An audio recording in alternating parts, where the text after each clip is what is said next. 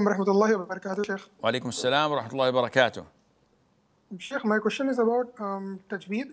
Um, when I when I read the Quran normally at home, Alhamdulillah, I'm able to follow the tajweed. But when I'm praying behind the Imam, so for example, when I go to the sujood and the, between the two prostrations, the dua of Allah maghfirli warhamni wahdini wajbuni wafni warzuqni warfani. So I'm unable to extend the tajweed or tabi'i. So the ya is not, I'm not able to extend it so much. So I I read that if the, the tajweed is not perfect, the words change the meaning and this renders the prayer invalid. So I wanted to ask, like, how do I different? How do I make sure that the tajweed is like? Do I have to make sure that the tajweed has to be perfect during the prayer if I'm praying fast?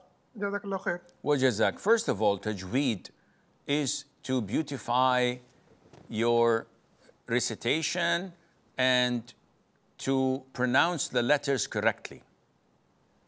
And if you do this in a quick fashion, that would do the job.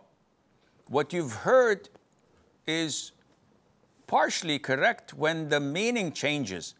But if you say رب اغفر لي وارحمني وعافني واجبرني وهديني وارفعني وارزقني this is valid. You don't have to say رب اغفر لي وارحمني There you just say it. Likewise الفاتحة الحمد لله رب العالمين الرحمن الرحيم مالك يوم الدين إياك نعبد وإياك نستعين You don't have to say Alhamdulillahi Rabbil Alameen.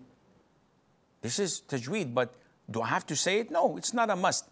You do not have to recite the Quran with tajweed. It's highly recommended, but it's not a must. You don't have to recite your athkar. Subhana Rabbi al-A'la, Subhana Rabbi al-Azim, Rabbi ighfirli warhamni wa'afini in tajweed. Just pronounce it normally and move on without paying attention to it.